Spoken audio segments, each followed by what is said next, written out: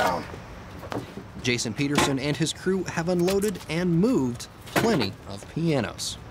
You know, this piano probably won't fit in doors, average home doors. They've rolled them from one house to another, from shops to homes, upstairs, through hallways, but they've never had a move like this. Some pianos go to concerts in parks, but this is the first time where we're actually putting them in a park and walking away from them. Once this piano and its parts are secure, it's time for the finishing touch.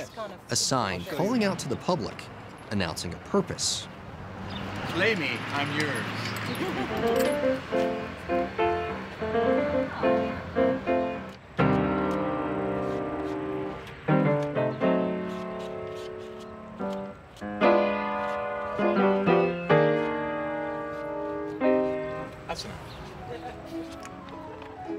The vision of British artist Luke Jerram, Play Me I'm Yours is a public art project which has been touring internationally since 2008.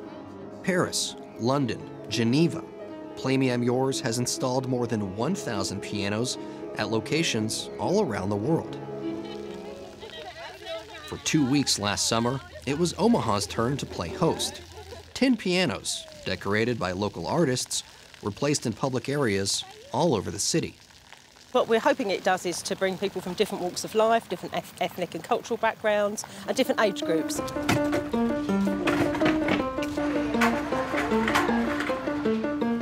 Sally Ray works for Luke Jerram and says he came up with the idea while sitting in a laundromat after he noticed no one was talking to each other. He was wondering how he could break down those barriers, and he was thinking, wow, if I put a piano in here, people would start playing it and, um, and start talking to each other.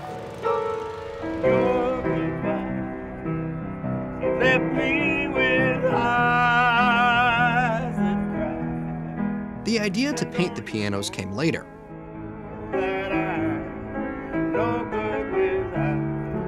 and adds a different element to the project by involving the local art community.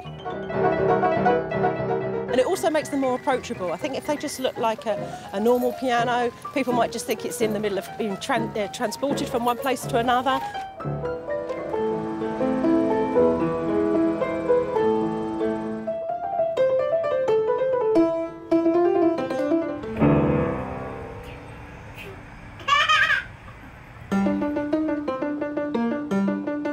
No one knows for sure how many people actually played the Omaha pianos, but they did play.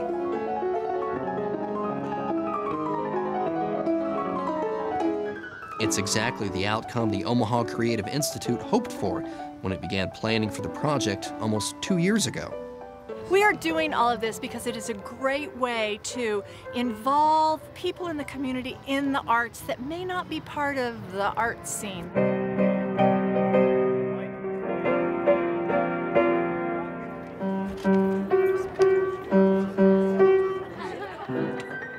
It's just to show how ubiquitous and how important arts are to our world and to our lives.